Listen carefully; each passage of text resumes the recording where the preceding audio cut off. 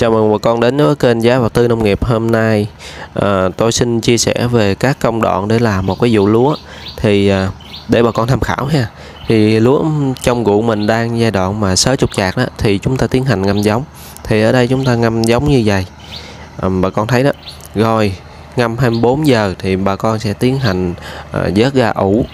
Rồi ủ 24 giờ thì trong lúc mà ủ đó thì chúng ta tiến hành à, ở ngoài ruộng thì chúng ta làm Ờ, đánh đường nước cho nó thông thoáng, thoát nước tốt.